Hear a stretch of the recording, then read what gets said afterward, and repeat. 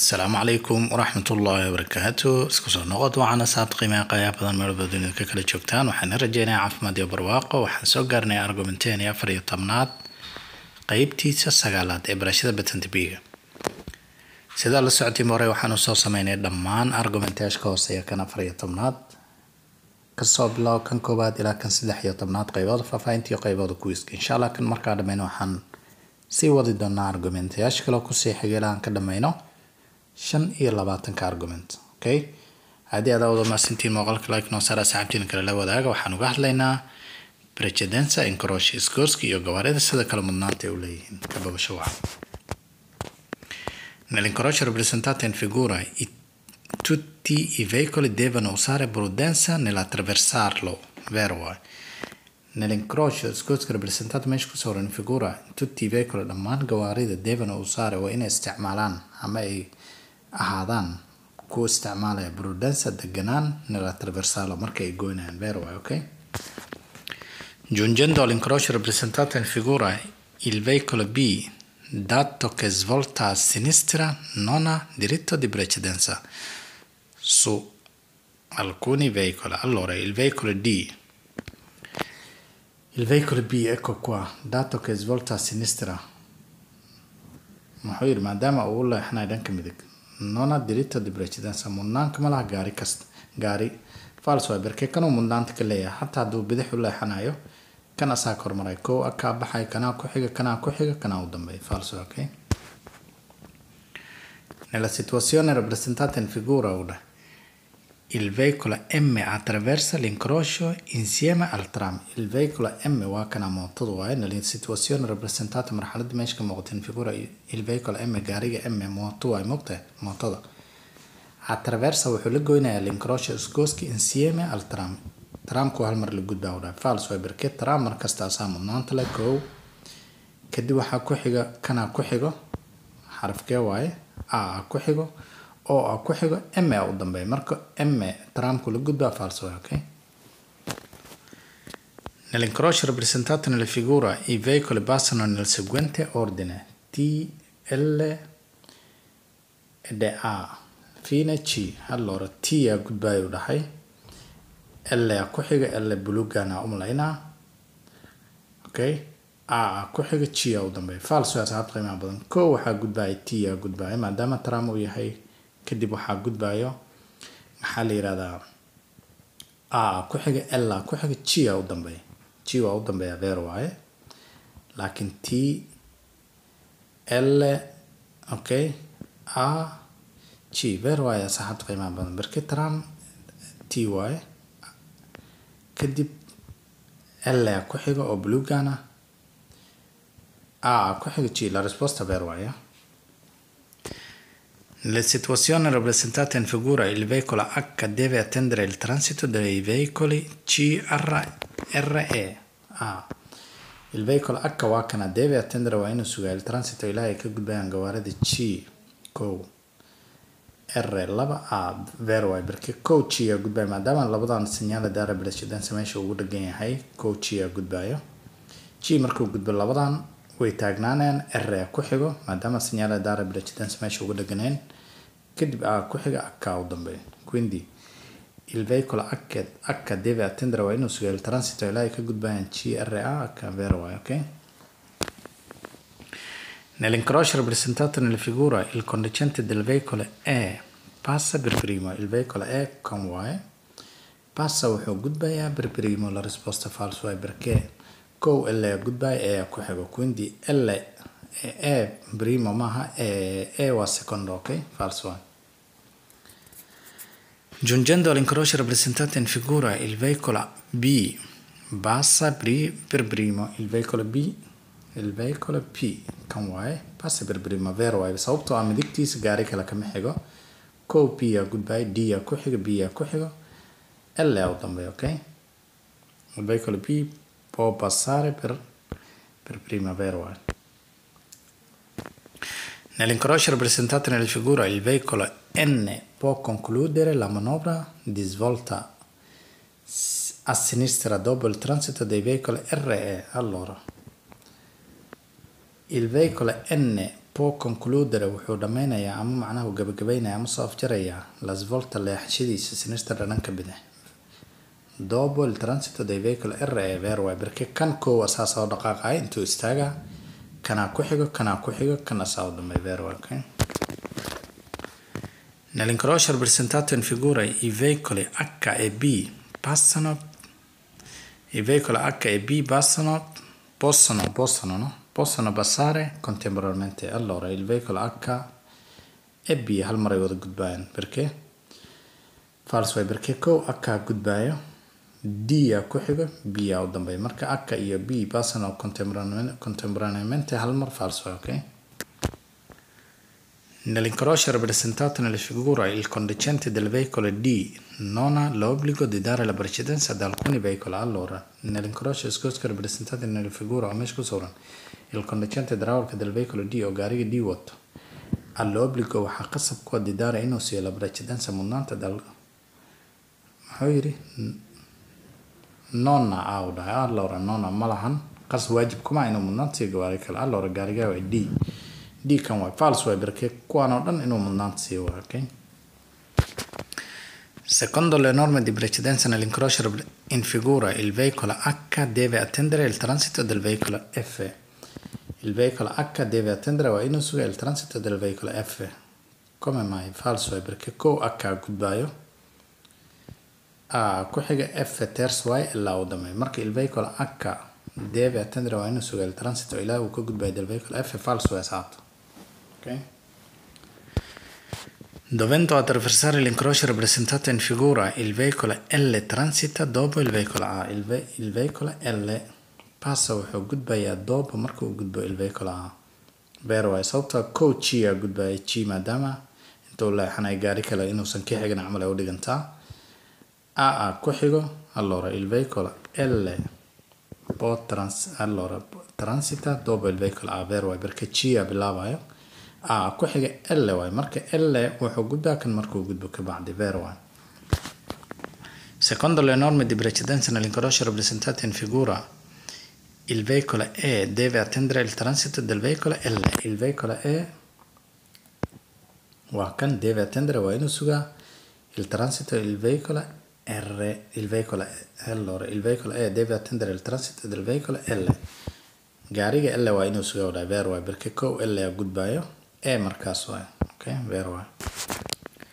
Secondo le norme di precedenza possono impegnare l'incrocio rappresentato in figura il veicolo R dopo l'attraversamento dei veicoli B e D. Secondo le norme di precedenza sida sharciga iyo qawaaniinta uu qorayo possono impegnare waxay u kala geli karaan l'incrocio rappresentato meesha ku sawiran il veicolo R wuxuu gudbaa dopo marka uu gudbo l'attraversamento dei veicoli B e D. B e D markay gudbaana R gudbayo kulaha no falso way perché kow R gudbayo kadib il veicolo R dopo l'attraversamento dei veicoli B e D. Falso way perché kow D R a gudbayo maadaama midigtiis gaari ka xigin. Kan jaawuuba gudbay kanaa ku xiga B a u dambeeya falso way okay Nella situazione rappresentata in figura il veicolo G deve attendere il transito del veicolo T. Il veicolo G waa kana deve attendere waa inuu suga il transito ilaa ku gudbayo del veicolo T tramka. La risposta è vero waay perché tram kasta priorità prioritagaas iskale soo Nell'incrocio rappresentato in figura il veicolo B passa per ultimo. Il veicolo B waa kana passa per ultimo. Ku dhacday? Allora, coach a dhaqaaqayo. Okay. Ah, vero waay perché C a koo dhaqaaqayo kan kan hal mar ay wada wadadan ay wada galaan sooma G a dhaqaaqayo A ku xiga B a u dambeeya vero waay Secondo le norme di precedenza nell'incrocio rappresentato in figura. Il veicolo R transita per ultimo. Il veicolo R waa kana transita per ultimo vero waay perché segnale dare precedenza meesha ugu dhegan kow ee kow waxaa gudbaya A a gud astafurlah sub. Kow S aa gudbaya kan gaari kale aa ku jira meesha ma jeeda S aa gudbaya maadaama toosu baxay kana saa mudnaanta kale. A a ku xigo. E a ku xiga R a u dambeeya R transita per ultimo vero waay okay?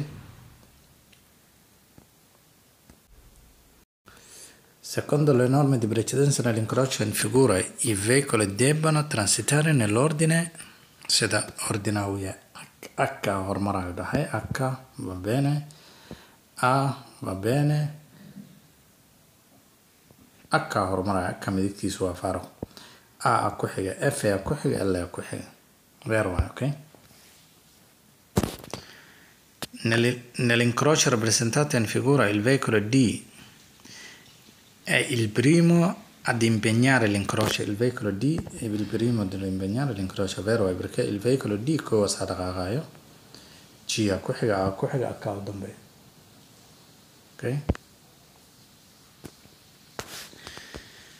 Nell'incrocio rappresentato nelle figure il conducente del veicolo N conclude per ultimo l'attraversamento dell'incrocio. Il veicolo N conclude wuxuu dhammaynayaa ama uu wada dhaafayaa iskooska marka ugu dambeyso sababtoo kow isaa dhaqaaqaya dhexda u istaagaa laakiin r ku xigo a ku xigo kan markaasaa u dambeynaya conclude u dambeyso ah vero ok nella situazione rappresentata in figura il veicolo nella situazione rappresentata in figura il veicolo B non deve dare la precedenza agli altri due veicoli il veicolo B waa kana non deve dare mas looma baahna inuu siiyo mudnaanta altri veicoli vero waa perché? B asaa toos gudbaaya maadaama midigtiis gaari kale ka xigin akka ku xiga G u dambeeya B non deve dare la precedenza altri veicoli vero waa agli altri veicoli Secondo le norme di precedenza nell'incrocio rappresentato in figura, il veicolo D deve dare la precedenza al veicolo B. Il veicolo D waa kana deve dare inuu siiya la precedenza al veicolo B kan. Allora, il veicolo D deve dare la precedenza al veicolo B. Secondo me è vero waay perché B waa soo dhaqaaqa intuu istaaga labadaana hal mar dhaqaaqayaan kadib kana u dambeeya. Sì.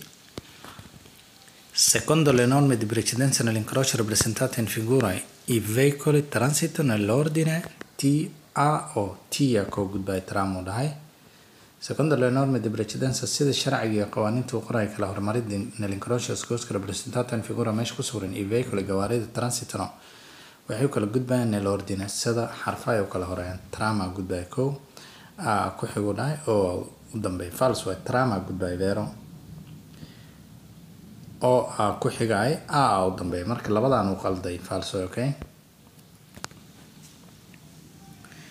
Nella situazione rappresentata in figura il veicolo C. Deve attendere il transito del veicolo H. Il veicolo C waa kana deve attendere waa inuu suga il transito ilaa uu ka gudbayo del veicolo H no? Falso waay perché kow waxaa gudbayo maadaama labadan signaale dara precedenza meesha ugu dhegan yahay G a koo gudbayo kana saa kale R a ku xigo ku xiga H u dambeeya marka G waa inuu sugaa H falso okay Nella situazione rappresentata in figura il veicolo C transita per primo. Il veicolo C transita per primo. La risposta vero è perché C cosa gudbay kana saa mudnaanta kale waayo midig labadan kale meesha taaganna waaba qasab inay sugaan ilaa ay kuwan ka gudbaan maadaama labadan dara precedence meesha ugu dhegan yahay ugu taagan yahay kee midig xiga marka kanaa xiga kanaa gudbaayo r a ku xigo a ku xiga ka u dambeeya. Marka il veicolo C transita per primo vero è Secondo le norme di precedenza nell'incrocio rappresentato in figura, il veicolo P impegna l'incrocio per primo, ma si deve fermare al centro di esso. Allora il veicolo C impegna per primo e si deve fermare di esso. Secondo me è falso, eh? non deve fermare il centro. Eh?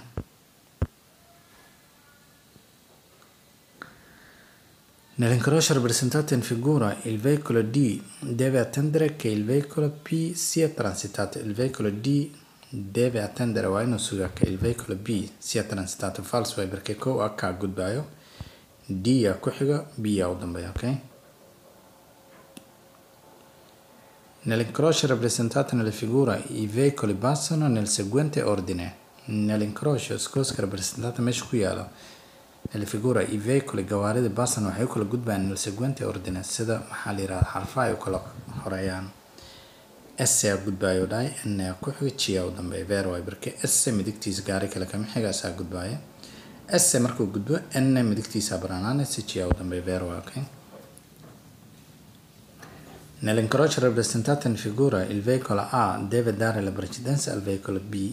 Il veicolo A waa kana deve dare waa inuu siiyaa mudnaanta il veicolo C mm, il veicolo B. Secondo me è falso eh, perché kanaa dhaqaaqayo dhexduu istaagaa kan secondo me è falso eh. Vediamo. Nell'intersezione di figura il veicolo B deve dare la precedenza al veicolo S. Il veicolo B waa kana deve dare waa inuu siiyaa la precedenza al veicolo S. Qasab waayo. Il veicolo B waa kan deve dare waa inuu siiyaa mudnaanta il veicolo S vero waayo perché kow S yaa gudbaya B ku xigo marka maadaama S horumarayo kan waa inuu kan mudnaanta siiya vero waayo. Okay. asxaabta qiimaha qaayaa badan casharkeena saas ayaan ku dhamaynay waa argumentaheeni maxaa la yihahdaa afar iyo tobnaad qeybtiisa sagaalaad. Hadda waxaan fiirinaynaa natiijada insha allah biillah alkarim okay